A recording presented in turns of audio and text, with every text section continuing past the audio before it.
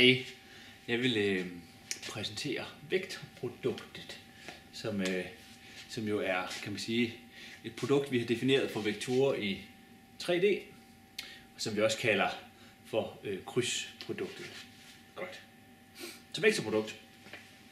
Øh, der gælder to ting for vektorproduktet. Hvis vi har to, to enlige vektorer, A og B, jamen så gælder der, at vektorproduktet det er en vektor, som står øh, to egentlige og ikke parallelle vektorer, skal det selvfølgelig være.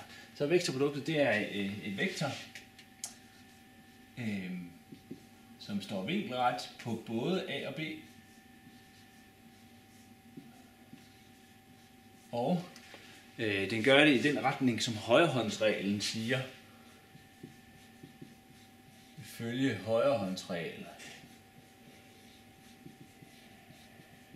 Godt. Og den der højrehåndsregel, den skal jeg nok præsentere lige om lidt her. Så det er den ene ting, som gælder for vektorproduktet. Øh, det vil sige, nu har vi fastlagt dens retning, kan man sige. Øh, det næste, jamen det er jo selvfølgelig dens længde, ikke? fordi at det er jo længde og retning, der er centralt for vektorer her. Så det vil sige, at dens længde, den er defineret ved, ved at være længden af A gange længden af B, og så gange sinus til vinklen mellem de to vektorer. Så godt, en vektor, som er defineret ved den der retning og den der længde der. Øhm, så gælder lige en enkelt ting, fordi at, øh, det er jo, øh, nu sagde jeg, at det skulle være to enlige vektorer, øh, men vi kan godt nogle gange støde på det, hvor det er uenlige vektorer. Øh, og det gælder altså, at, at hvis vektorproduktet her, det faktisk er nulvektoren, jamen så er det ens betydende med, at en af de to deroppe er nulvektoren. Så det vil sige, at en af de to øh, vektorer, som indgår i vektorproduktet, er nulvektoren.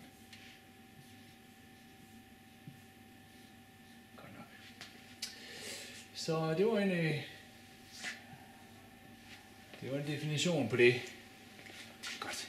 Øh, lad os lige, øh, den her højrehåndsregel, lige se, hvordan den virker. Øh, det er fordi, den fastlægger jo retningen. Så man tager sin højre hånd, sådan der, og så øh, lader man den der være vektor A, og den der være vektor B, og så tager man sin lange finger, og så peger man den op. Øh, så det betyder, at hvis vi har en vektor A der, og vi har en vektor B der, jamen så vil øh, øh, hvad hedder det, vektorproduktet så pege opad. Omvendt, hvis det var vektor B, og det var vektor A, jamen så skulle vi jo egentlig lige bytte rundt på den, og så vil øh, den pege nedad. Så lige prøve at bruge den på, lige på et par eksempler her.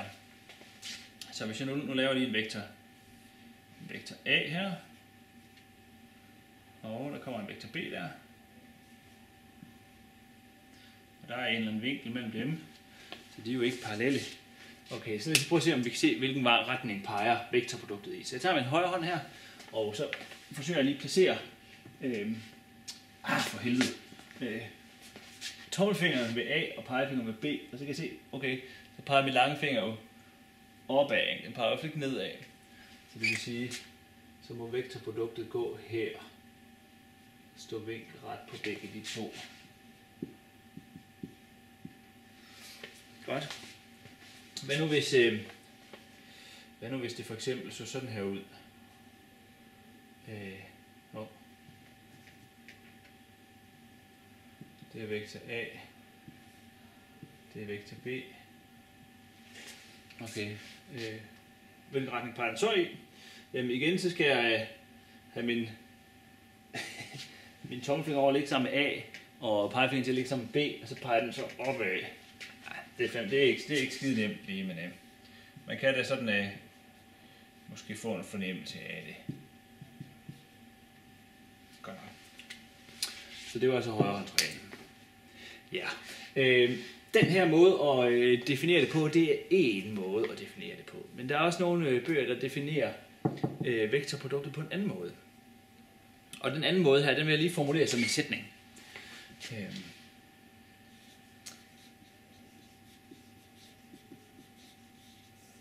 Der. Okay.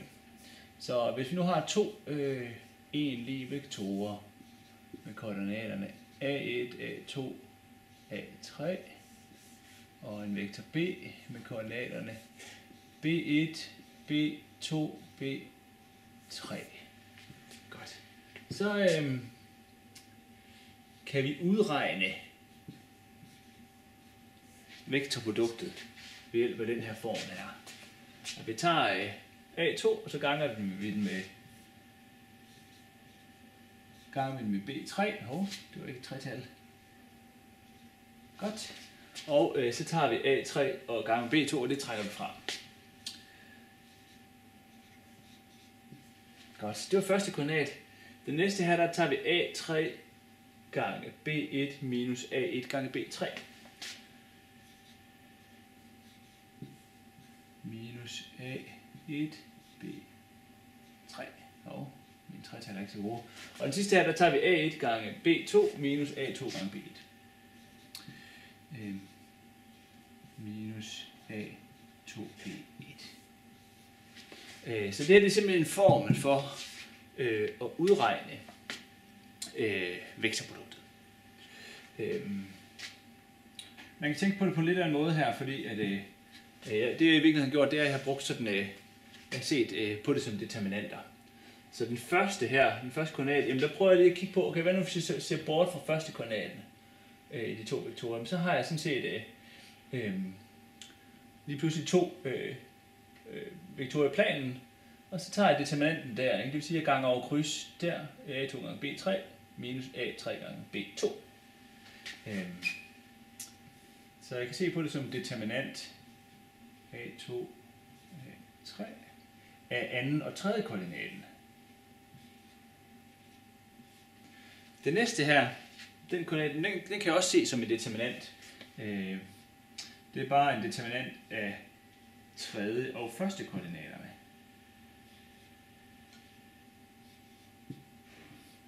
Og øh, den sidste, den kunne jeg også se på som en, en determinant. Det er bare øh, determinanten af første og anden koordinaterne.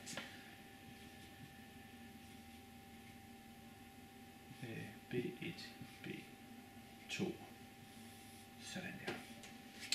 Øh, ja. Det vi har her, øh, det er den centrale sætning omkring det.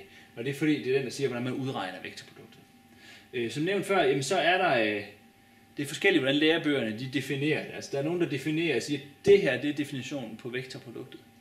Og så bagefter, så går de hen og beviser den sætning her, at den står vinkelret på begge to ifølge højrehåndsreglen, og den har den længde der.